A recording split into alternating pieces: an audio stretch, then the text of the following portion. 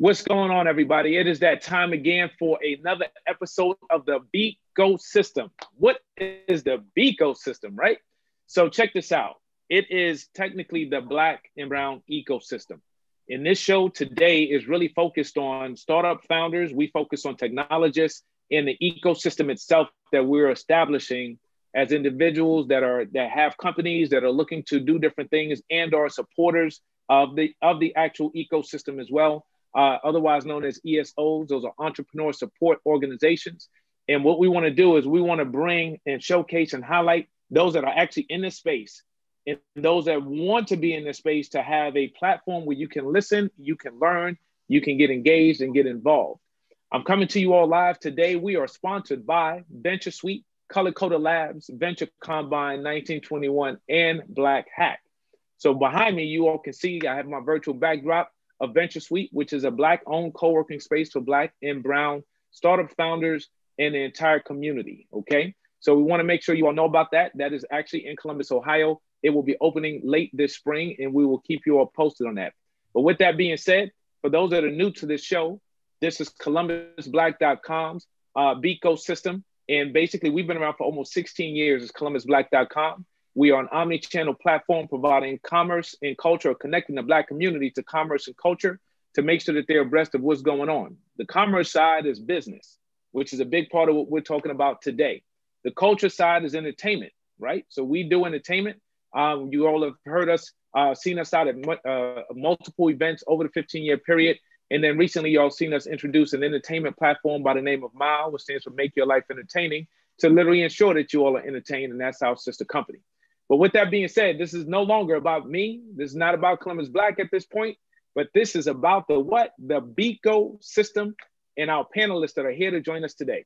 So with that being said, I'm going to go ahead and turn it over and I'm going to introduce our panelists. Uh, we actually have with us today Keena Smith. Uh, Keena, I'm going to actually allow you to do your full intro so that I do not jack it up. But we are excited to have you here uh, as the CEO of uh, WCEO, but I'll let you explain that for everybody. Thank you, Kevin. Good morning, everybody. Good morning to you, uh, Kevin. Good morning to uh, all these uh, wonderful panelists that I'm honored to be um, on uh, with this morning, and of course, your audience. I am Keena Smith. I am a social entrepreneur and an ecosystem builder. I am the CEO of the Women's Center for Economic Opportunity, which is a 501c3, uh, as Kevin mentioned, entrepreneurial support organization. So you'll hear us talk about uh, ESO throughout the conversation. Uh, we provide and serve um, uh, Black women and other diverse uh, women business owners and innovators and the way that we serve them is through providing them with pathways to capital, connections, and business know how. We are uh, uh, about eight years old now, and uh, we are working on uh, our big project right now is a women's business accelerator for pandemic recovery that we are calling Hire One. And I'm sure we'll talk a little bit more about that as we uh, go through the program. And so um, I will leave it there and say thank you for having me this morning. I'm excited to be here and excited for this conversation. Outstanding. I look forward to hearing about Hire One as well. So thank you, Keena, for that introduction. Let's move on to Doug McCollough, CEO of Color Coded Labs. Good afternoon, everybody. Uh, I'm Doug McCollough, CEO of Color Coded Labs. Color Coded Labs is uh, a tech and software developer boot camp, 16 weeks, where we are helping people from historically marginalized communities and overlooked talent uh, raise their income, essentially, learn a technology skill that has demand in the marketplace and teach them some of the skills necessary for them to succeed in, in a new space. We are raising incomes and uh, supplying talent to an industry that is desperate for it. That is the technology industry, which says it needs people and says it wants diversity. And so here we are with diverse people, with talented, you know, uh, with technology talent. So that's our mission. Uh, I come to the world also as a co-founder of Black Tech Columbus, which is creates an authentic space for Black technology professionals to connect collaborate, and create. I know almost everybody on this call, part of the Columbus tech community, and we're all kind of mixed up together in, in trying to make things better for people of color and our communities uh, in Central Ohio. That's it for me. That's my intro. All right, good and a, and a great one. We appreciate having you on today, Doug, and congratulations uh, on Color Coded Labs and obviously all that you've done with uh, Black Tech Columbus as well. Let's move on to Maurice Womack, uh, CEO of Wakanda. All right. So, Maurice, welcome. I'm glad that we can have you on the show. Please introduce yourself to the audience. Thank you. Thank you. Um, my name is Maurice Womack. I'm the founder of Wakanda. So, Wakanda is a community learning platform where Black experts share their knowledge via live learning events. And so, yeah, we have both the community and the learning piece together, which, if you've ever learned anything, you need those components to be successful. And so, um, not only the learning but the community. And so we're we're really building a platform where people can come together, uh, learn uh, not only in the live events but even after the fact where you can do deeper learning. Um, my background is I'm an engineer. I'm also a STEM equity specialist. So uh, prior to Wakanda, I had a company called Oasis, which was opening access to STEAM in informal settings. So we partnered with the Dish School District. Uh, we were at LeBron's I Promise School as well. Uh, really, the goal was to expose as many youth from marginalized communities, underserved communities to quality STEM learning. And so that's a precursor to a lot of what you get to now in technology, right? So having a, a solid technology foundation and understanding so that you can move into creating your own technology companies uh, and make that path a little bit easier. So excited to be here. Thanks for having me. Outstanding, Maurice. We're excited to have you here. And I know you have a breadth of knowledge and experience to bring to the table today as well. And with that being said, let's transition over to Will Burrus, who's the uh, chief problem solver for modern technologies. Absolutely. Hey, everyone. Uh, my name is Will Burrus. I am a, uh, my, my LinkedIn says that I'm a visionary technology executive and entrepreneur, but the truth is, uh, I'm a college dropout who got into a Microsoft boot camp 25 years ago and was able to turn that into a really uh, successful career in technology. So uh, those things are real. If you're interested in getting involved, do it. Uh, i am currently actually the chief technology officer of Lower.com, which is one of the fastest growing fintechs in the country. It's did about 1.7 billion in loan volume and scaling and hiring like a weed. Uh, but I'm also uh, I have a consulting firm called Modern Technologies that's I've had in many iterations over the last couple years, uh, which is uh, my vehicle for problem solving in a tech space, built on this thesis that uh, every time that you see the way that people use technology change, there's great opportunities for entrepreneurship because you can take old business models and translate them into a new technology stack. So uh, the most recent one I did that was an offshoot of that was called Immersive Is, uh, which was a virtual reality content creation company. Uh, that's a passion of mine. I just finished a really awesome shooting range project with police department. Um, but uh, but yeah, I've done that. Uh, I also have another company called Labor Genome, uh, which allows me to explore uh, how developmental psychology can be used to help match people to work, match people to jobs, and just create better awareness of how you can um, uh, how you can build a better life for yourself. To be honest, uh, I've also done some startups in the music business and just been around for quite a while. Thank you, Will. We're we're definitely excited to have you here on the show. Obviously, we've had many conversations about what we'll end up talking about some today. So appreciate you uh, taking the time and being able to join us as well. And with that being said, I want to uh, wrap up with our final panelist, Shaunice Wallace, who is the CEO of the Lotus Foundation. So, Shaunice, would you introduce yourself to our audience as well? Uh, hello, everybody, and thank you for having me today. Uh, as uh, Kevin said, I am Shaunice Wallace. I am the CEO of Lotus Foundation.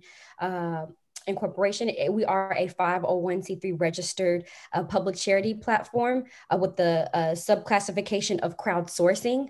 Um, my original background, which shocks everybody, I am a licensed hairstylist of 10 years and a salon suite owner in the heart of the city of Atlanta. I also own um, an event space So that's my main background. Uh, but the crowdsourcing platform is my new baby. Uh, we've been launched for about a month. Um, and what we do here is uh, we have a unique fundraising model that is patent pending. Um, and is considered a novel patent. Um, and we also provide uh, resources to the disenfranchised communities, especially right now with the pandemic. So we offer uh, employment. We've partnered with a few people that um, have been able to secure jobs, uh, remote jobs, uh, health and wellness benefits, uh, discounts, perks, um, financial education, literacy, um, I mean, the list goes on as far as uh, what we have here on our platform. Uh, so I'm still a baby in the game, uh, still learning the fintech world. Uh, like I said, this is not my main, you know, uh, that wasn't my main background, but I'm here and I, I have a new niche now. Just being able to uh, bring everybody to one hub to help them enhance their life and build generational wealth, because essentially that's what we need outstanding, outstanding. So, so thank you and welcome to the to the call, Shaunice, uh, and for all that you're doing, especially down in Atlanta, making sure everybody looks beautiful. One, but then also that they have money in their pockets, right? So number two. So we appreciate that. Now let's swing back because Shaunice kind of gave us a segue into her why, right? Like what she's actually doing. Um, and we're going to swing back the other way. Well, we're going to come back to you as we think about how did you end up because it's all about the story, right? How did you end up doing what you're doing? Like, what's your what was your motivation even to get into tech? Like, how did you even get into it and then get tied to the ecosystem?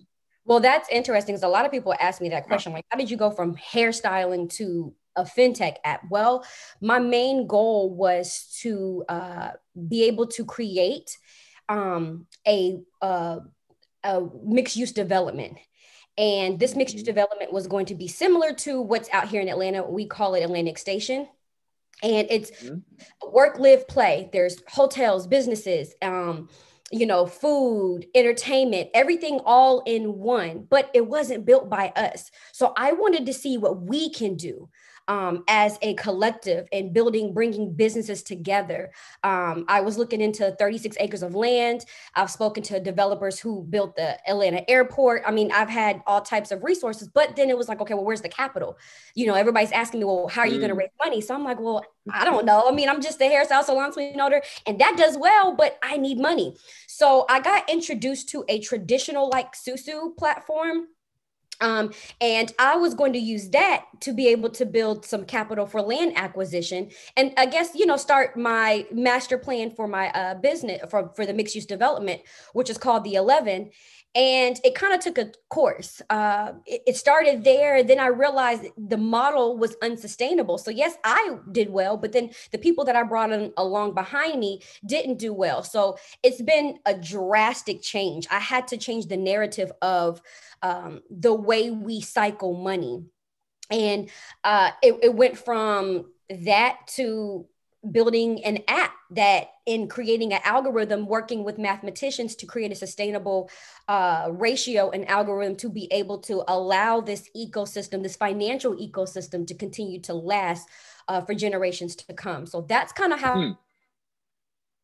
Off into it and now i'm kind of like knee deep okay, I, I okay. haven't deviated from the, the, main goal which is still to attain the land and develop this mixed use development that's all black owned black and brown owned and black and brown brown ran so uh, okay. that's pretty much how I, I got into this outstanding so thank you for sharing that that why and how it all happened now i, I could tell you right now now earlier i saw Keena shaking her head but i know when you said algorithm everybody else was like Absolutely, right? So, Will, that's a great segue into you and how you got into tech because when it comes to algorithms, that's like your niche, right? So, in itself, walk us through your why and how'd you end up doing what you're doing? What what got you here? Yeah, I you know I, I, actually stumbled into tech. I like to say I really wasn't seeking it out. You know, when I was growing up, I was always into computers and whatnot, but my passion was music. So I uh, I was in the music business prior to my technology life, and uh, you know flushed out of it because it's organized crime at the end of the day. And uh, and then found myself trying to figure out what to do. And my brother who was managing at me at the time was like hey you can go take these tests that microsoft is offering and get really good jobs right? This was in the uh, late 90s and uh, mm. so i took you know 700 tests 700 tests seven seven tests spent 125 bucks each test to uh, get in and got a job building laptops and just ran with it. And i think uh, i was fortunate in 2000 to start a company uh, with a, a, friend of mine. Uh, you know it was six of us and $750000 and we got this business up and running. And i think the power of sitting in this empty office and building out you know your own thing uh, was just sticky. So from there mm. i found freedom in that and power in that and started building my own product oh. and uh, running you know and so over um, you know the last 20 years it's just been a progressive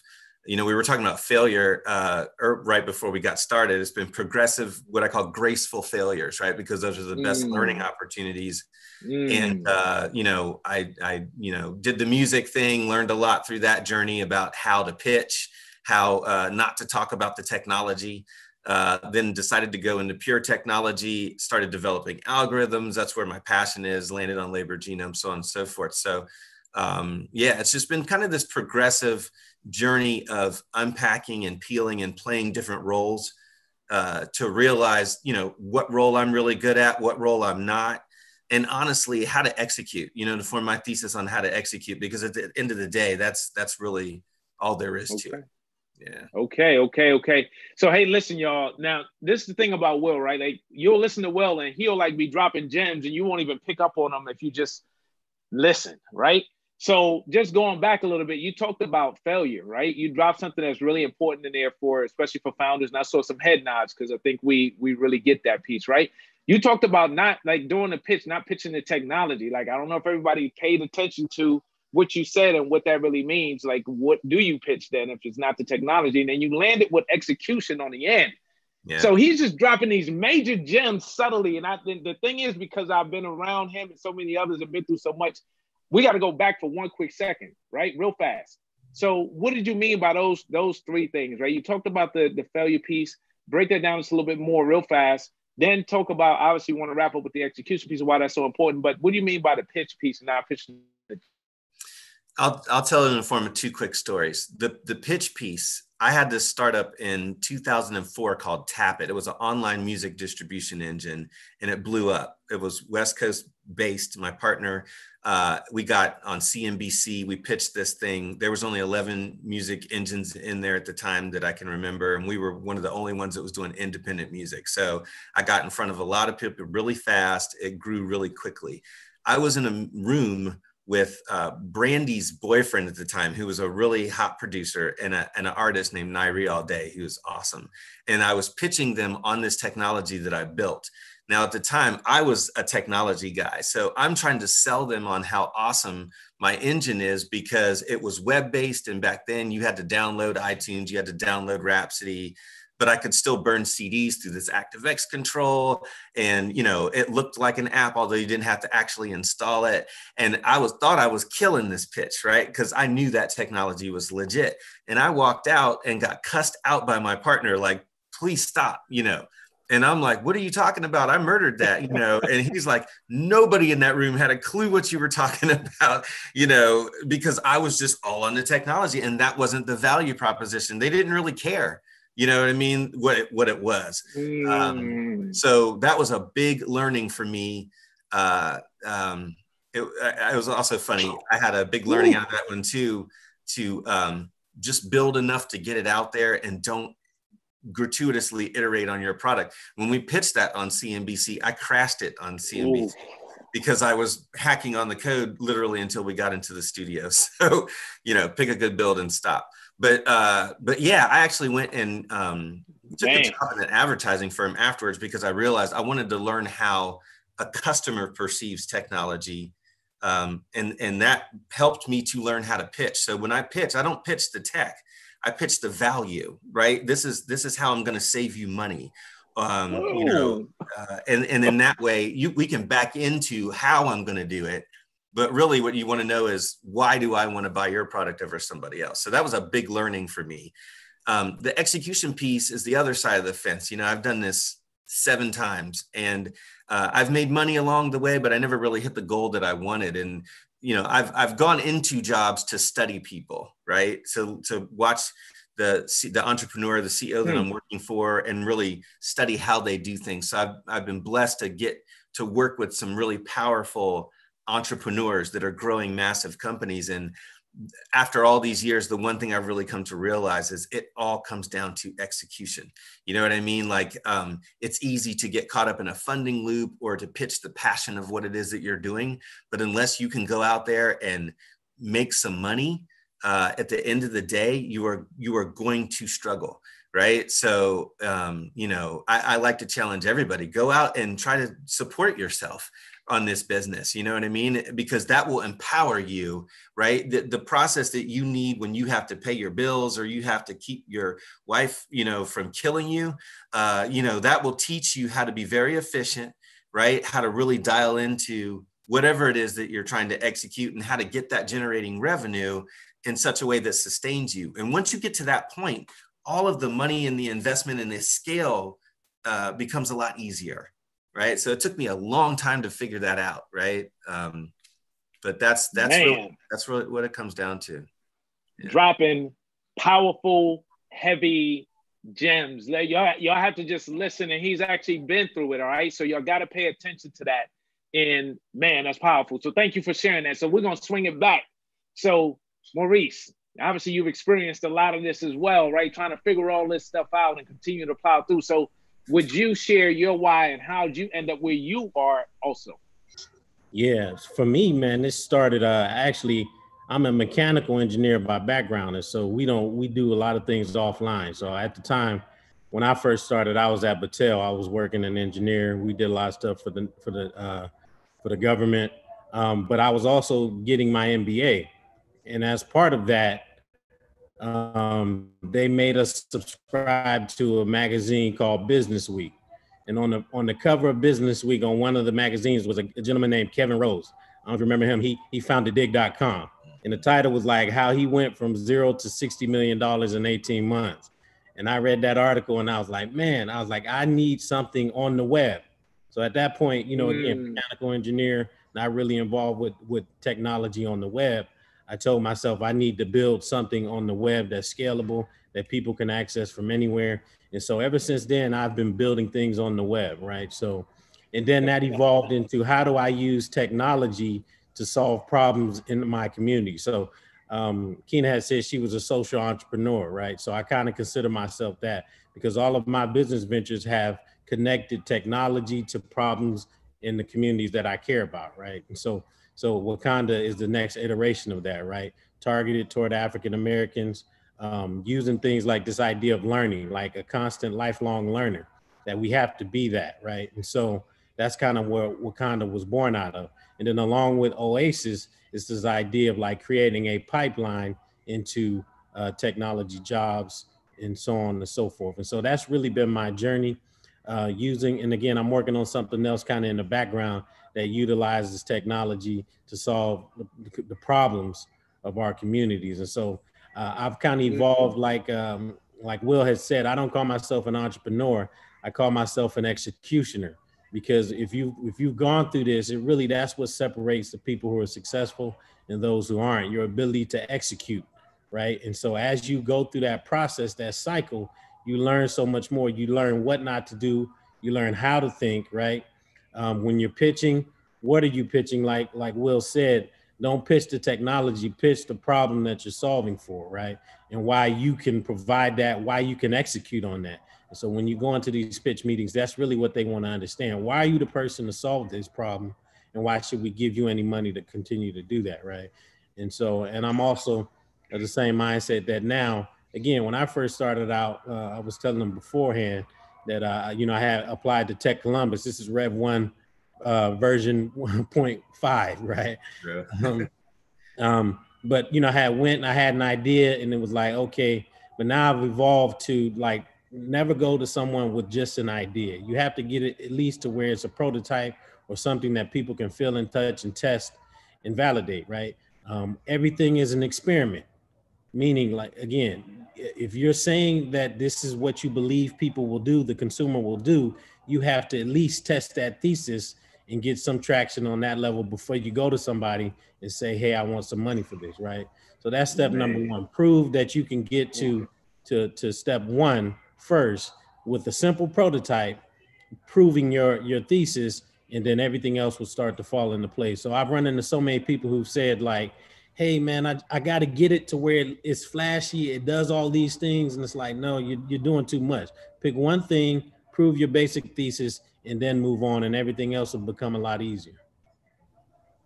So once again, powerful gems being dropped left and right. I'm gonna tell you right now, right? Because I've been there. Somebody needs to hear everything that y'all are saying. Like somebody right now is gonna take the wrong step, waste time, energy, and money if they don't hear and apply what is being said and dropped here. People pay attention, it's for real, all right? And then execute. With that being said, Doug, we're coming back to you, and Keena, we're on our way up to you. So, Doug, how did you end up where you are doing what you're doing? Tell us the what's the backstory. Fill us in. You know, I often ask myself the same question. I'm still trying to figure out how did I get here doing this. Uh, but I have some similarities to all of you, and I have some similarities to Will. I was a musician and I had two kids. I was living in New Jersey and I needed a better income. I needed a better lifestyle. I needed to, to change. I needed a better future. I mm. came back to Ohio, mm. went to University of Toledo, got an undergraduate degree in uh, information systems and operations management. Wound up at Lucent Technologies here in Columbus, over on Broad Street. Some of you guys remember it. They are now Alcatel Lucent, but uh, that is the where Bell Labs was in uh, Columbus, and I I sat and looked at a whole bunch of PhDs and extremely smart software developers, and I learned about the telecommunications industry. And then I went into government. so I went into state government. Uh, first, I got my MBA, uh, but uh, and I had some similar experiences to Maurice. Similar experiences where you're seeing things that you would not necessarily have seen if you didn't get inside that circle. Uh, I've worked in, in state government for a long time, and I'm not that great of a technologist, but I am a good technology manager. I'm a good manager, and I'm a good strategist and thinker. Um, I, I, wound up in four different state agencies, and then I went to a municipality, which was Richmond, Virginia. I directed IT there. And then I was recruited back to Ohio to the city of Dublin, where I was chief information officer. And I mention this because I've been a CIO for a long time. A couple things happened that uh, that pushed me over in this direction. I think it was 2018. There's a very big event here in Columbus called CIO Tomorrow, and all of the the CIOs from the largest organization formed the CIO Forum, and they asked me to be the chairperson of that event. It takes about a year of planning for it, but I had a lot of influence and I decided to influence that event to talking about talent and diverse talent at that time. And it wound up having some incredible uh, presentations from a lot of interesting people from different companies around town that I then got to meet. And I wound up having this conversation about talent. And I realized that we are broken when it comes to this conversation. You're just not mm. connecting mm. the dots properly. And and uh, since that time, I've been asked to speak on the topic, and this is before co-founding Black Tech Columbus, um, I know a lot of people are very successful in technology, Black people. And I know a lot of people who are looking for something to do and trying to find a way to get that income, like I was when I was a struggling musician with two kids. I now have four kids, and I found that technology was a career field that built a bridge for me. And I feel very strongly about this. And so there's been a lot of other things that have happened but when I got the opportunity to work with Color Coded Labs, um, you know, something happens to some of us who speak on panels and who advocate for some of this stuff. Uh, at some point, you have to roll up your sleeves, put your own money on the line, put your own time on the line, mm. and build a business oh. that's going to do that Ooh. thing, right? You, I, mm. I, I've spoken, I've been on stage, I've written articles, I do podcasts, but at some point, you got to get in a room with a bunch of other people and build a product and as Will says, you know, you got to go make some money on this, not because you're necessarily looking for the money. You could get a job that's going to give you the money, but because you need to solve the broken problem and the opportunity is there. And we have a society and a business environment and an ecosystem which is broken. It is a broken pipeline. It is unsuccessful at finding diverse talent and putting it to work. Mm, mm. And, and and that's a market opportunity. So yeah, I'm doing a lot of other things, but that's how I come to be here. And, and like Will and like Maurice and like you, Kevin, I, I'm doing two or three other companies as well. One other thing that I wanted to do, I recognize I love being a chief information officer, but I recognize that I have the capacity to be a chief executive officer. And I was wasting some talent.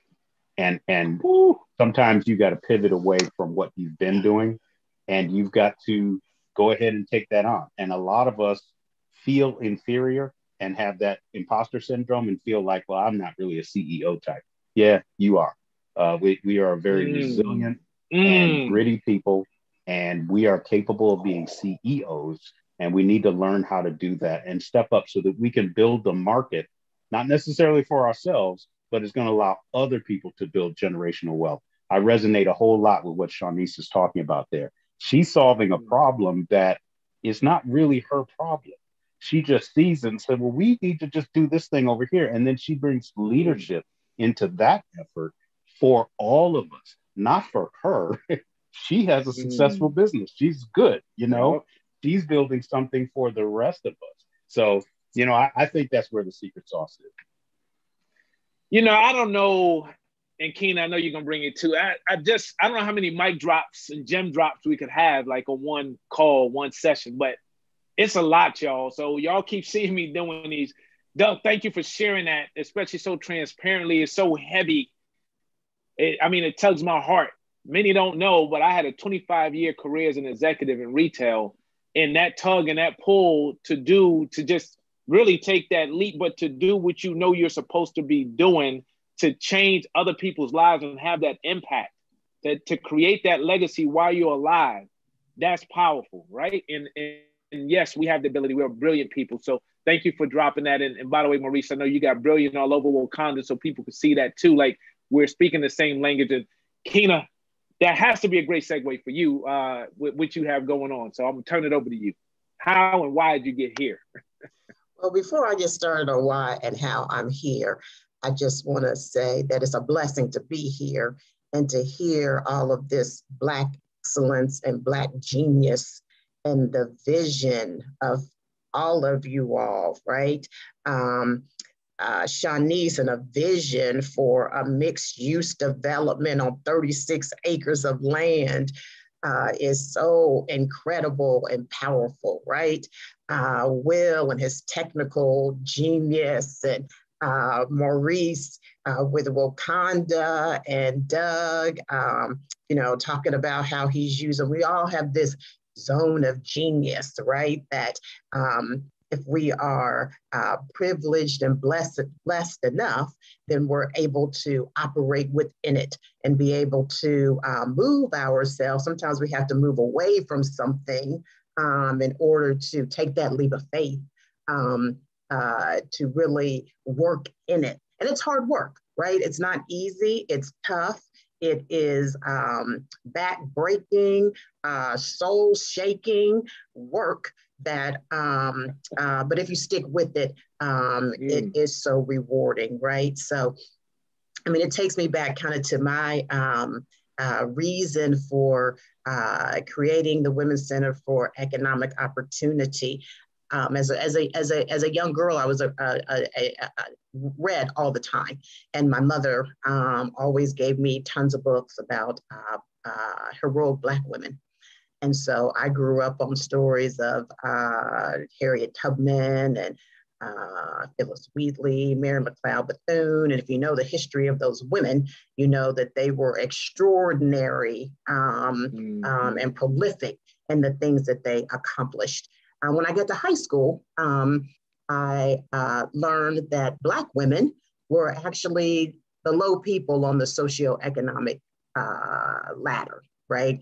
Which was um, a lot of emotions in that, right? Um, mm-hmm. I felt uh, uh, angry um, about that because that is not, you know, what I knew of Black women.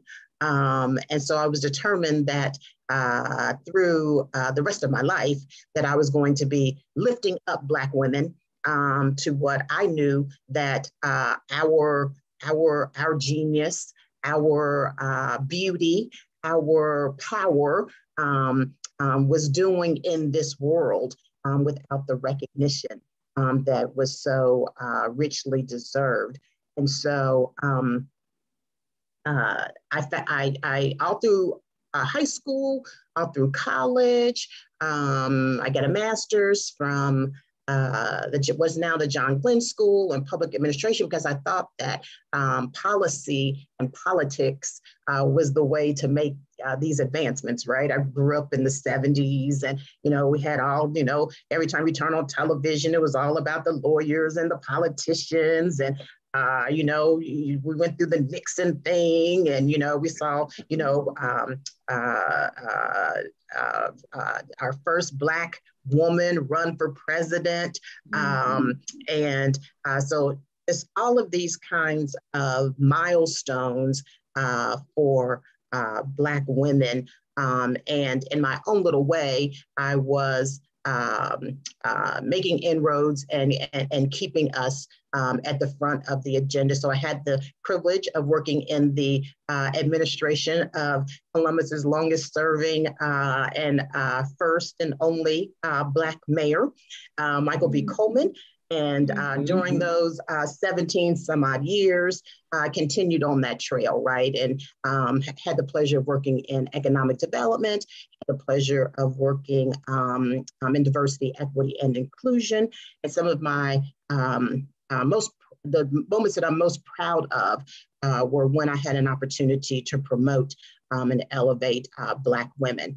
Um, Goldman Sachs um, I don't know if you guys heard here recently, Goldman Sachs just announced a $10 billion um, effort mm-hmm. um, over the next 10 years, um, you know, basically to do what we all been doing, right? Elevating and empower Black women.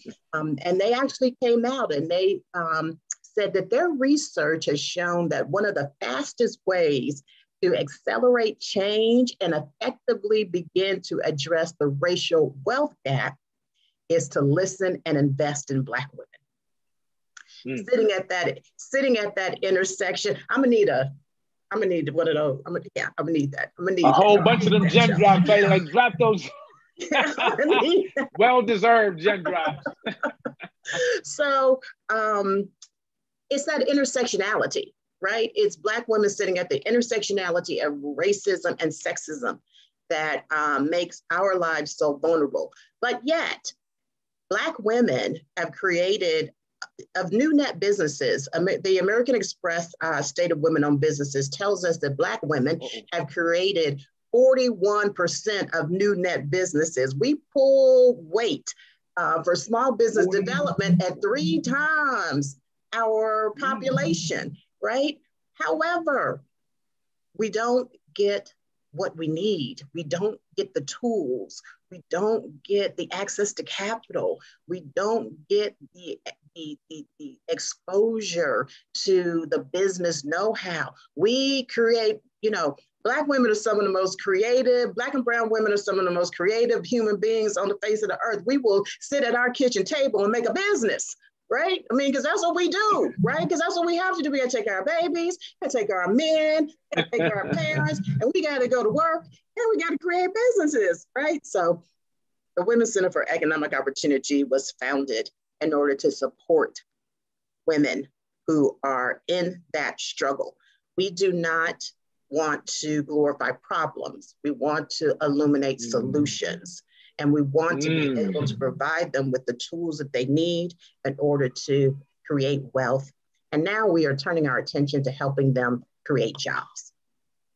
That is the way to create generational wealth, the way to close wealth gaps, mm. and the way it. to really express our agency. So um, my zone of genius has always been um, more of a broad-based uh, approach to enabling and uh, mm. providing if I, I, guess if anything i would probably have, have been a teacher if i wasn't a public administrator um, but uh, providing this platform that is now focused on um, making sure that uh, the knowledge that will has and the energy that maurice has and the, the, the, the vision that Shaunice has, and as well as the knowledge that Doug has as far as how to connect the dots, and that you have, Kevin, for bringing people together, that we have a hub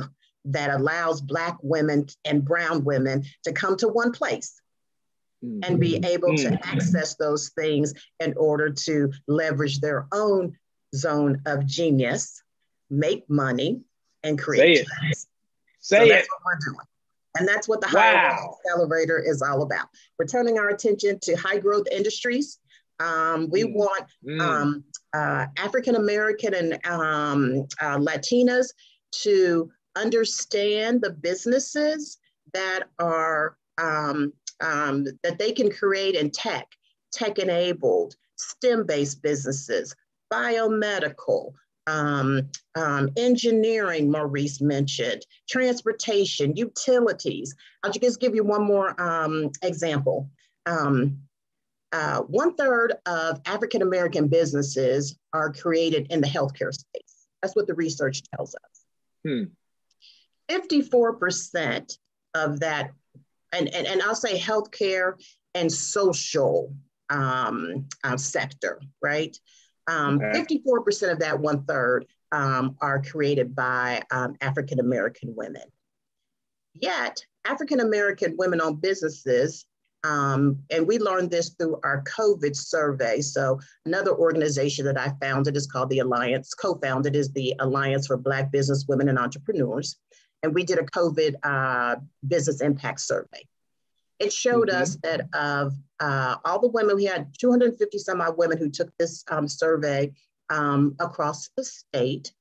Um, 60% of them make less than $50,000 a year Ooh. because their businesses are in low growth industries. Mm. So we can take that 54% that are in the healthcare social service space, expose them to higher growth in the higher growth possibilities of biomedical um, um, and other technology or technology enabled businesses in that same space, just think about the possibilities of what we could create when it comes to wealth um, and jobs for our communities. And I'll leave you with this one last point. Black people hire Black people. And so when Uh-oh. we have what Black people creating jobs, then we can get our young people off the streets and we can make sure that our communities are more vibrant, safer, and our quality of Come life on. will improve. We have to create jobs for our people. We have to create jobs for our young people. And that's what we, that's what we want to do with the and it's hire one, H I R E one. So we're, mm. going to build an accelerator uh, post pandemic to position uh, Black and Brown women to hire one at least. Mm, powerful, y'all. Yes, you may. Is well, we by the way, we're we're opening it up at this point. So go ahead, Doug. I just want to tag in on that last point because that's what I was saying as well in terms of talking to companies about hiring black people we can do that all day and night it, they if they if they hired a bunch more if they did if they met all of their goals you couldn't hire all of us that are available and talented and available we're going to have to do this ourselves and we can't hire people mm. if we don't start businesses so Keena i am mm. i am so right there with you and i want to throw some some uh, support there behind that black women are founders and have been founders and CEOs of, of companies which are not heading to IPO, they're not heading to seven figure uh, exits and things like that. But they're being founded and they're being led. And some of us have, a, especially Black men, have a lot of power and capability. We are in position to support these Black women owned, led, founded companies and begin to do the kind of mergers and acquisitions in our ecosystem that can lead to the IPOs, the seven figure exits, and those kinds of things. So I want you to know, Keena, that that we got your back, and and you keep on churning out women CEOs, and we will churn out the talent and and and some of the other economic resources to help push that along because that's the formula. That is the point. You're already mm. doing the founding of these companies. I love being a CEO. I continue to want to found these companies, but we also need to corral that talent and make it available and energized for the kind of founding that that you're talking about. I believe. Yeah, you know what? Can I tap into that real quick? Oh yeah. You said something um, so awesome. The uh, I love the shift into high growth industry. Right. I think we as we look to build you know this ecosystem which is so desperately needed where we can support and sustain ourselves and harness our own economic power and, and wield that like a weapon right the uh, there's an opportunity in in the way that our society is evolving as a result of technology right so if we're intentional about mm-hmm. looking for those spaces to play and tailoring our uh, businesses and our efforts towards these gaps, then you're already halfway there. You know what I mean? So if we're going for energy jobs or infrastructure jobs, or if you're in healthcare, if we're more intentional about, you know, the transition to, you know, uh, digital digitized records or, you know, streamlined ways to do procedures or telemedicine, like there's a lot of spaces that seem like uh, they're intimidating, but they're not, right? They're it's just something different. You know what I mean? It's still the same application, same problem solving, but the difference is you're walking into a market, you know, that that is a trillion dollar market versus a million dollar market, right? So um, I, I love that. I, I we have to be very intentional as we go to build this thing about plugging ourselves into spaces and trends that are already primed for growth, right? Like the gig economy, for example. We're building an appetite for hiring people by the hour, you know what I mean? Or in, in micro ways, mm-hmm. really effective, but you can stack money really quickly. You know what I mean? So, um, so yeah, love that. Love that. Dropping some gems there, y'all. Pay attention. Can I, can I go ahead. Okay. Yep. Um, so just kind of taking a peek at the panel. Obviously, I'm the the millennial of this panel. Listen, I have no issues stating my age. I am 31. So as you guys are teaching the people, you're teaching me too because I'm listening. Mm-hmm. Oh, I'm 20 years in, I'm 15 years in. I'm like, well, I'm only a month in into this whole realm. But I had a conversation with somebody who owns a, a master black mastermind group, and she dropped a statistic on me, and she told me that, and this was like a couple months back before I even launched Lotus. She said that 95% of African American businesses do not hire their own or don't have any employee system um, to be able to provide jobs. I didn't know how I was going to do it. And I spoke on it months before and I said, you know what? I a thousand black and brown people eh, this year, right? Didn't know how I was going to do it. I launched my uh, my app and partner with my mother because she's actually um, she has her own staffing agency and she's been doing this for well over 20 years and now we're in a position where we're able to provide remote jobs for our people. I mean, we have thousands of open positions. And not only that, we're helping building resumes. So if you don't have a resume or if you don't even have customer service skills, my mom is training these people. We have trainees who've been doing working with her for over 15 years. And we have a job readiness program to teach our underprivileged people how to attain jobs. And just kind of going back, and I'm gonna be brief I remember as a kid sitting in my mom's training session, and she had like 30 people um, in this training session, and she had a system where they were she was teaching the people how to type. I learned how to type 33 words per minute, just being a kid, swinging my legs on the board. What do I do now? You know, I kind of watched my mom you know, take people from what we call the hood or under or disenfranchised communities and build their confidence, build them up to be able to walk into the corporate world and attain a job. So now it's like kind of like I'm taking over that legacy. And you know, it, to me, I, am getting chills. I also kind of want to piggyback off when I heard uh, Mary McLeod Bethune. Well, a woman who inspired me was somebody that no one talks about. Hairstylist, and, and she had her own hair care line. But then she grew so large to where she had uh, she had colleges in the in, in, the nations at every single state she had colleges that not only provided and taught women how to uh, do hair and, and and become women but she taught them how to save money how to attain uh, land. Um i mean she had a, a, a a, parking garage i mean a hotel. So that's what inspired me to to build out this mixed use development. So i can say now that you guys mm-hmm. I mean I, i'm excited to be here but i'm not gonna lie i'm exhausted because it's it's a lot to try to change a 400 year old mentality and and and the dependency of our people to switch their mindsets. And another little nugget I want to drop is, you know, we got a lot of genius people sitting here, but what I've noticed from our past leaders, their basis and their foundation was spirituality. So now I have to go back and teach the art of manifestation, um, the art of um, you know uh, grounding yourself in, in, in the divine to be able to catapult whatever you have to to bring it to life and um, mm-hmm. I'm excited, um, and I thank you guys for nice. for dropping these nuggets. Nice. Like I said, as you guys are, I, even though I'm a panelist, I'm still learning, still learning. that's how that's how it works. Go ahead, Maurice. No, I, I agree, man. I, I, like you said, Shaunice, it is hard, right? And that's why it's important that we create a ecosystem, right? So the ecosystem puts in place all of the quote unquote nutritional things that you need it creates a pathway for you to go from point A to point B to point C. And it creates what I think is probably most important that community, right?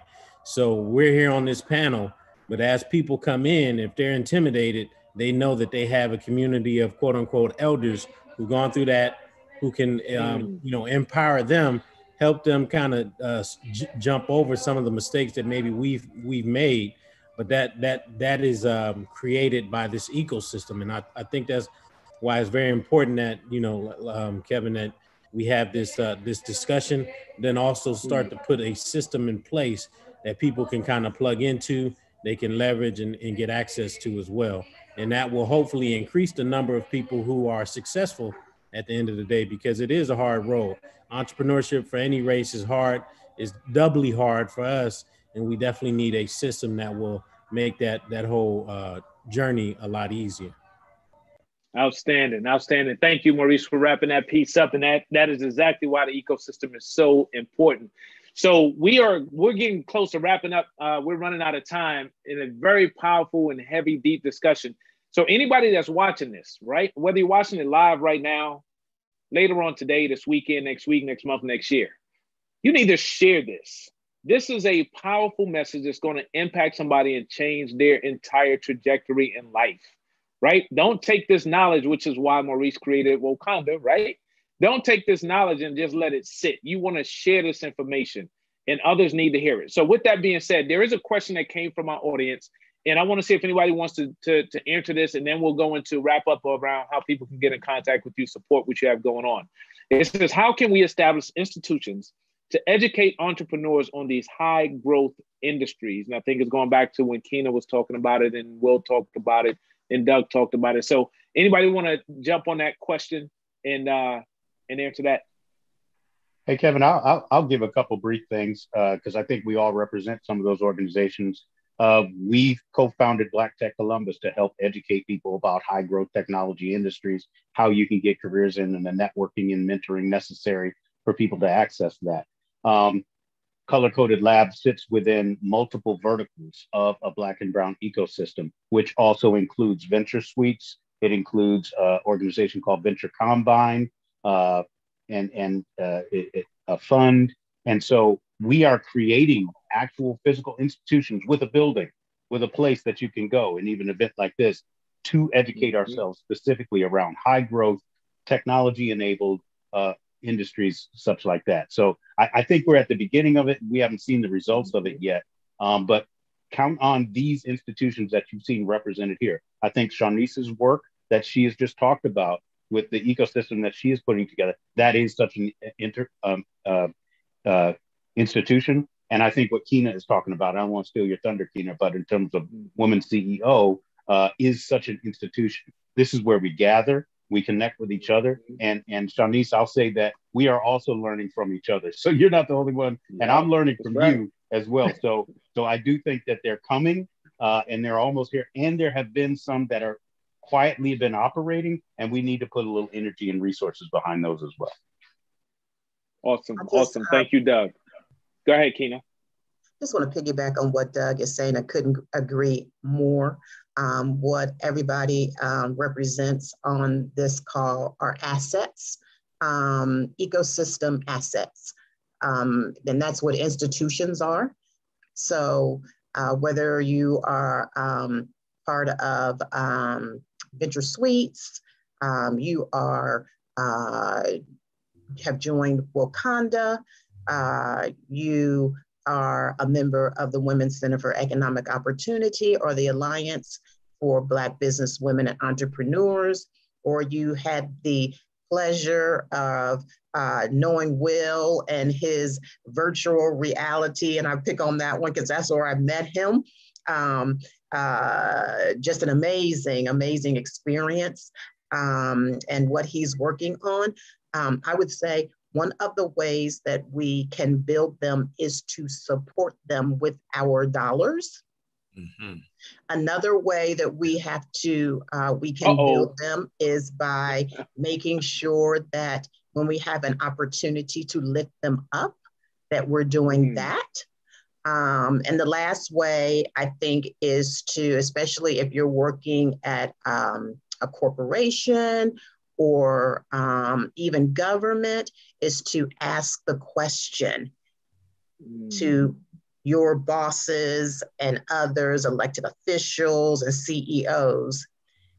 After George Floyd, and as we move through this pandemic, but we'll talk about, you know, after George Floyd, there was a lot of um, um, good intentions mm-hmm. and a great mm-hmm. spirit around uh, racial equity, um, as well as uh, closing wealth gaps. Um, and there's been a lot of training that has gone on um, um, and a lot of development. I think now we have to raise the question what are you doing? Where are where are the dollars going? Uh, part of the Black ecosystem, we have some great assets like the Columbus Urban League, um, which is doing a phenomenal job of um, assisting um, all manner of folk uh, during this pandemic, including business people. So I just want to lift up what um, um, they, what uh, Stephanie and Melinda Carter and Avery and all of those folks um, are doing over at the Columbus Urban League. Um, um, and I think that, you know, we want to hear um, that yes, we are investing and in the Columbus Urban Leagues of the world, as well as asking about how we are supporting a build out of uh, this ecosystem um, that we're talking about. So um, ask the question, uh, beg the question, raise the question about, um, I think that just goes back to kind of accountability, yeah. right? Um, when we talk about um, uh, specifically a post George Floyd kind of um, um, sentiment or po- post George Floyd intentions about what uh, 2021, 2022, 2023, 2024, 2025 would look like as compared to 2020, right? So just want to yeah. shout out, you know, some of those folks, Columbus Urban League, Venture Suites. Um, I know I'm missing somebody. Kevin, help me. Uh, you know, Franklin County has done an amazing job. Absolutely. City of Columbus. You know, there are folks yep. out City here Council. that are really pushing yeah. that message. Definitely, definitely. So so here's the deal, y'all. We are we are literally basically out of time. So what we're doing is we're going into overtime.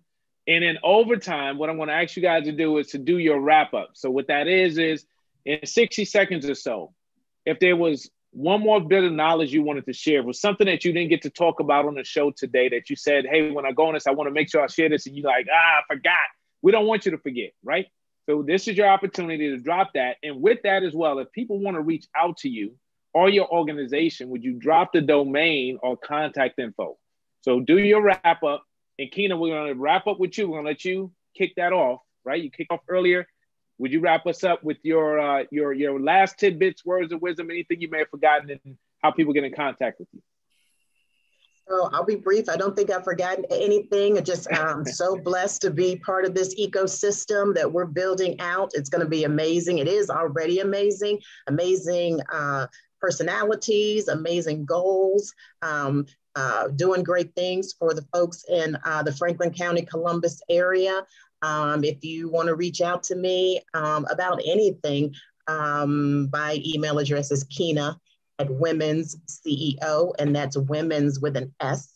Um, and Keena is K E E N A. Outstanding. Thank you so much for that wrap up. And Maurice, we're coming to you next. Yeah. So just as a as a wrap up, man, start. Right. I've talked mm. to so many people who sit around just thinking about what they want to do. Just start it, man. And and and don't let the the perfect be the enemy of the good, right? So again, I'm an engineer, so I know the value of a prototype. It doesn't have to be the finished product before you launch it. In fact, if you if it's perfect when you launch it, it's too late, right? So, uh, so just start, right, and start experimenting, figuring out. You have a thesis, figure it out, see if it actually works, right? That's important. Mm-hmm. And uh, you, I can be reached at hello at wakanda.app. Um, again, I would love if you join that. I'm building what I call a collective intelligence, a collective super intelligence of Black mm. folk, right? So we're aggregating Black brilliance. Uh, we have accounts there, free account. I uh, got a five dollar account too. So like Keena said, uh, the the dollars help. So if you could do yes. that as well.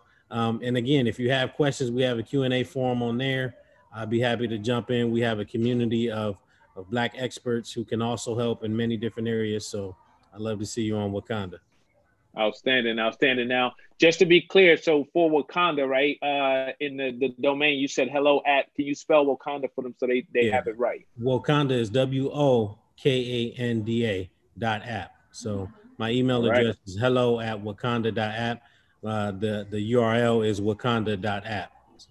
Outstanding, outstanding. And remember, y'all, you can be a member. You can also be a speaker. He's looking for both. So that's how you support his uh his platform, right? Doug, we're coming to you for your final wrap up. Thanks, Kevin. This has been awesome. Uh, wonderful to talk with everybody. Uh, Color Coded Labs can be reached at colorcodedlabs.com. Uh, I'm Doug at colorcodedlabs.com. Uh, Black Tech Columbus can be reached at blacktech614.com. Uh, I, I, tweet a lot. You find me at Doug IT Pro. Um, very active on LinkedIn seriously, seriously, as Maurice says, go look at Wakanda. Go do it. Hey, this is a platform we don't need to complain about. We don't have one. We have one. Okay, it's it's serious. This is a solid platform, and I just want to take a, a, a moment to raise up, uh, if I could, uh, stopping Asian hate, uh, because during the protest of last summer, a lot of Asian Americans raised their voice, joined into the chorus, and said, "Yeah, we're not with this." They did that and they yep. believe that. And we come from a people who have had our churches bombed and our children killed, and we've been strung up by trees. We understand this violence. Black people, join in the chorus, raise your voices. This is not okay. And when we right. see it happening to them, we need to raise our voices. So, since there's a, a Black audience here, I want to make sure if any Asian Americans are watching, we hear you, we feel you, we understand this, and we are not okay with this. So, we're, we're fighting this along with you. Yep, totally unacceptable, Doug. Thank you for bringing that up because it is that serious. And Shaunice, with you being in, in the state of Georgia, we also are supporting. We need to support what's going on down in Georgia, or not support what's going on in Georgia, but support those that are fighting against the challenges that are going on in Georgia right now, as our democracy is at risk, right? So, uh, thank you for bringing that up, Doug, because it's very serious as well. And then, with that being said, we're going to go to you, Will. Yeah, thanks again for having me. I'm I love this conversation. I believe in entrepreneurship. You know, it's the art of making the impossible possible, right? And and I think what uh, society has shown us is that uh, if we are ever going to, uh, uh you know, get to where we all know that we should be or want to be, uh, we have to do this through entrepreneurship. There's no other way, and and we have to help ourselves. There is no other way right? So um, you know I, I would challenge all of you that are really interested in this route. Find something that you're passionate about. Sell me a pen right? Like figure it out. You know just go get in there and start jotting down on a spreadsheet. One of the one of the best motivators, pull out Excel and just do some quick pro forma math on how much money you think you could make on your idea, mm-hmm. and then let that motivate you. Get through that exercise and then go to Keena and then go to Doug because then they can plug you into the resources, but you're already there. This isn't like a passive game. You have to own this and you have to be passionate mm. about it because it's going to drag you through the mud, right? But if you do it, you know, you can come out on top and you can help a lot of people, right? Mm. So, you know, the the one thing I would say uh, that I end all my presentations with now, ironically, is a quote by Malcolm X uh, that I think applies to technology, which is that uh, uh, tomorrow belongs to those who prepare for it today. So get out there, mm. you know, read, right? Look at what's going on in the world, look for those holes, think of a way to solve a problem in it, and go get it. Outstanding, outstanding. How do people reach out to you at uh, Modern Technologies if they have a question? Um, you can find me on uh, LinkedIn, actually, Will Burrus. Uh, you know, hit me on Labor Genome. If you take that assessment, I'll see you coming through there. But uh, and Modern Technologies is always there. It's in a it's in an in between state right now, so I think LinkedIn is the safest place. Hey, can I plug one more thing too? With Lower.com again, we're growing like a weed right now, and I am looking for really good tech talent. So if you are uh, you know looking for a tech job in a company that is super stable but feels like a startup, then find me on LinkedIn and and let's talk about it. That's outstanding, outstanding opportunity presenting itself for you right there, y'all. And it's B U R R U S. All right, that's how he spells his last name. Thank you so much, Will, for being on the show. And Shaunice, would you bring us home? Uh, well, I'm going to go ahead and take it home and uh, kind of tie in everything that everybody has stated here with um, with execution problems of the world. We've been understanding social media going on. And like Maurice always execute. So what my platform is doing is is is executing. It's bringing everybody that's here um, Doug, Maurice, Keena, Will, Kevin, and bringing those resources under one hub. So that way, when you go to loadus.org, and loadus is L O A D U S.org, you can see and learn how to connect with Keena. The my the Wakanda platform will be on there. Uh, whatever Will has will be on there. The Black Tech, um, Columbus, and um, will be on my Loadus platform as well. And uh, uh, the uh, ColumbusBlack.com will be all integrated into Loadus. So as we as we know, my platform is a crowdsourcing uh, platform, which, like I said, it helps bring all the sources together for that one hub. So that to also answer the question of um, how do we establish institutions to educate entrepreneurs for these high growth industries? Well, come to Loadus and you'll find out because we're going to have everybody on there. Um, we're going to be able to provide jobs, uh, health and wellness, uh, teach you how to save money. Um, we're going to have different CPAs on on there teaching you how to uh, allocate your money properly when you do get money. Um, and it's important now. And like I said, for e- execution reasons, yes, I do believe bringing awareness and marching and all that good stuff is good. But now we're in a different mm. era. We're in an era now where we have to move.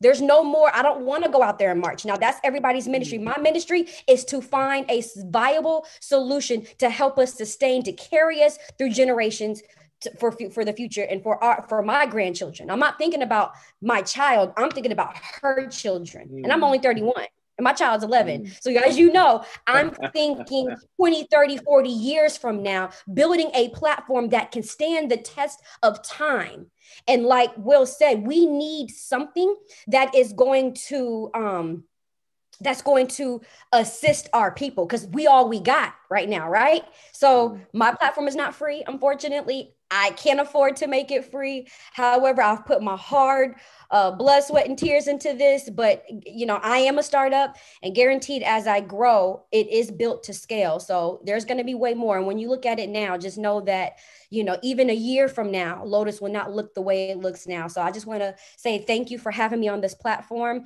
Um, I wasn't a hundred percent prepared to speak, but I'm glad that you know I I embodied the energy and the spirit to be able to hopefully transmit some positivity to everybody who's watching and to let you guys know and leave you with encouragement is to now we are in the execution period of life. This is this era, and technology is going to help us be able to patch that all in and bridge that wealth gap.